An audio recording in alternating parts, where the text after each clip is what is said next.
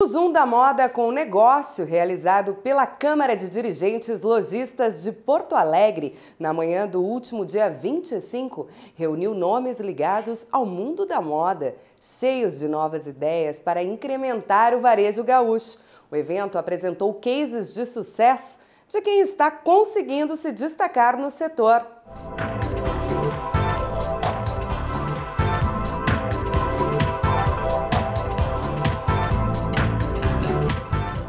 Mais um super evento da CDL Porto Alegre, Zoom do Varejo. Moda como negócio. Moda é um grande negócio, sempre, sempre será? Sim, há 100 anos atrás era importante, agora é importante e daqui a 100 anos também será importante. As pessoas querem se vestir de forma adequada, por mais que o adequado possa ser diferente para diferentes grupos, é absolutamente importante que se discuta e se demonstre isso. Acho que o Zoom traz uma coisa muito fresca, uma coisa interessante sobre um novo comportamento, uma nova maneira é, de ver moda. Qual é essa nova maneira de ver moda? Acho que o primeiro palestrante, o da Cartel 011, ele trouxe um pouco disso, né? Uma moda mais espojada, uma moda sem tanto ornamento, né? Peças que é, tu não precisa ter a peça, o colar, o óculos é uma coisa menos ostensiva, acho que ele foi brilhante nessa colocação. Peças que resolvam de uma maneira funcional, é, aquela coisa que o que é moda não incomoda, eu acho que vive um outro momento, acho que a moda tem que ser realmente confortável e acho que a gente conseguiu atingir o objetivo de trazer algo novo, o pessoal refletir sobre isso. E essa palestra da Personal Styler? É, a, a, foi muito bacana. A Ju, ela tem 500 mil seguidores, né? Pois é. E ela trabalha com uma maneira que todo, principalmente as mulheres, mas que tem dúvida de como é, ficar na moda, né? Porque às vezes tu sabe uma peça que está na moda, mas e essa peça? Como ela encaixa no meu guarda-roupa? Então ela trouxe mais para o pé no chão, para o dia a dia das pessoas. O que, que os lojistas têm que fazer para resolver esse problema do cliente? Ok, o cliente quer usar a jaqueta amarela que aparece na novela. Eu não sei nem quem é, mas ok. É, como usa isso? De que forma? E aí ela demonstrou que é papel das lojas oferecer essa solução então para o cliente. Achei que foi bem interessante também. Parabéns pelo evento. Sempre um sucesso, Zoom. Sempre, obrigado. E o convite, né, no dia 16 de julho, no lançamento do nosso impostômetro lá na Praça Otávio Rocha. Sim, isso aí é fundamental. Tu é um dos caras que mais estimulou. Mais incentivei isso. Acho que nós temos que mostrar. Esse impostômetro, eu saúdo ele muito, né? Porque nós estamos vivendo um momento muito difícil, onde a mandioca passa a ser um símbolo nacional. É, exatamente. E tu pega o sentimento da população que não é ele que paga aquilo. Isto. Tem que acabar. Concordo. Tem que olhar e tem que sentir que é ele que está pagando esse valor desse tributo que é insustentável. Parabéns pela tua gestão da CDL, um sucesso, hein, Guga? Tá bom, obrigado. Sempre à disposição.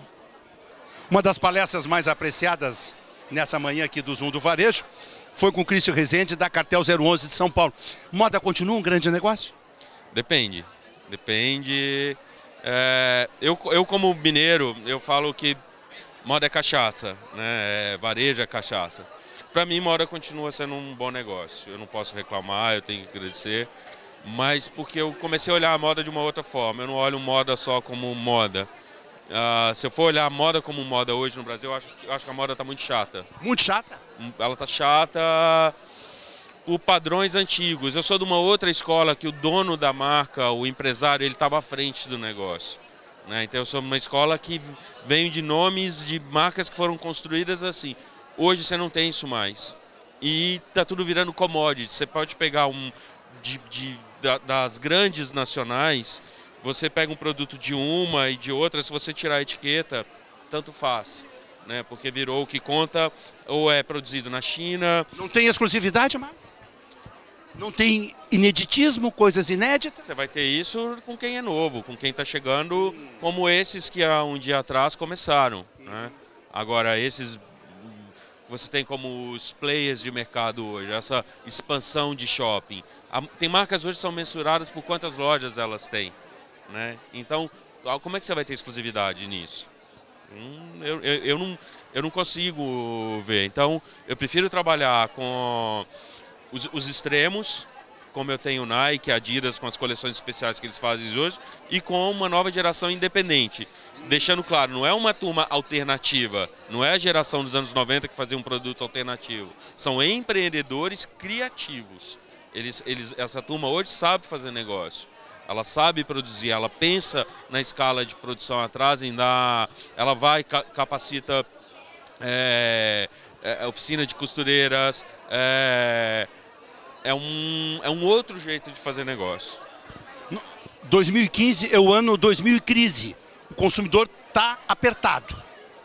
Conta de energia elevada, conta de água, enfim. Ele está procurando preço. Qualidade e preço. Ele não abre mão de qualidade, ninguém abre mão mais. É um momento diferente no mercado. Olha, eu comecei meu negócio em 2008. 2008 era estolho da bolha imobiliária lá fora. Se eu comecei em 2008, com to, todo assim, de amigo, parceiro, todos me falavam, cara, não é hora de você investir no negócio.